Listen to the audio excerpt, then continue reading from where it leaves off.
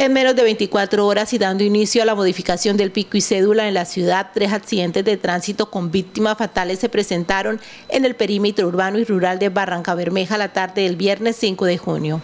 El primer hecho se registró a las afueras de la ciudad en la vía al corregimiento La Fortuna, donde una mujer que no ha sido identificada perdió la vida. Según información, se trataría de un habitante de calle cuya situación fue atendida por la Policía de Carreteras del Magdalena Medio. El otro hecho fatal se registró hacia las cinco y media de la tarde en inmediaciones del barrio Palmar. En este accidente pierde la vida una mujer de 56 años de edad, identificada como Cecilia Ortega Ortiz, quien presentó trauma cráneoencefálico y quien fue trasladada por el Cuerpo de Bomberos Voluntarios a un centro asistencial de la ciudad, donde murió horas después. En el día de ayer, 5 de junio, eh, lamentablemente se nos presentaron dos accidentes eh, donde resultaron dos personas muertas por accidente de tránsito. El primer accidente ocurrió hacia las 18 horas en la carrera 50 frente a la entrada del barrio Los Almendros, eh, ahí en la paso nivel del barrio Palmar, donde un camión furgón de placas SQL822, conducido por el señor César Augusto Plata Lozano.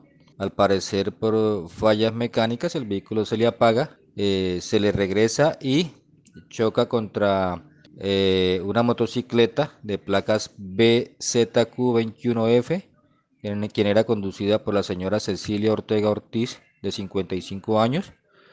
En este eh, impacto, pues la señora resulta bastante lesionada, es atendida en la clínica Magdalena, pero eh, aproximadamente a las 19 horas, es decir, a las 7 de la noche, fallece debido a las lesiones.